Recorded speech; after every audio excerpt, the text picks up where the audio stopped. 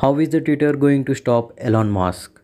Well, for the uninitiated, last week Elon Musk disclosed that he is the largest shareholder of the microblogging platform. The Tesla CEO bought 73.5 million shares or is 9.2 stack in Twitter and the Twitter share went into franchisee.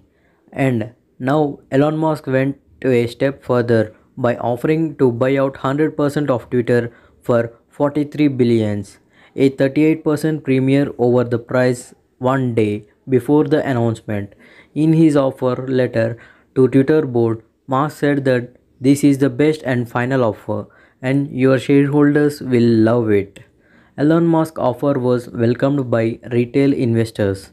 Well, the Saudi Arabia prince who owns roughly 5% stake in the microblogging platform called the offer not close to instance value of Twitter and said being one of the largest shareholder of the Twitter I reject this offer. The Twitter board met on Thursday to review Musk's proposal and see if it is the best interest of the company and its shareholders. Meeting Twitter's board is considering adopting a deficiency measure that would protect the company from the hostile takeover. There are plenty of defensive moves that a company can take in the state of hostile takeover.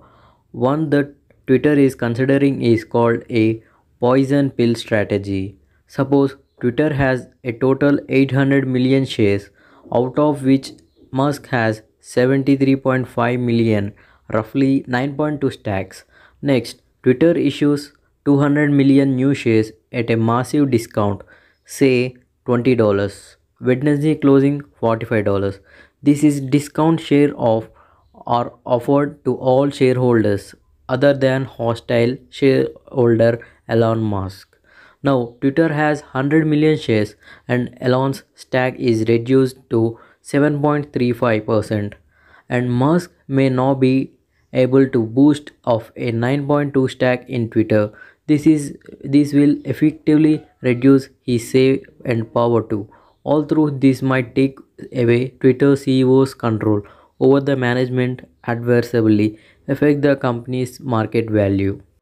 Please subscribe my channel and give me some support.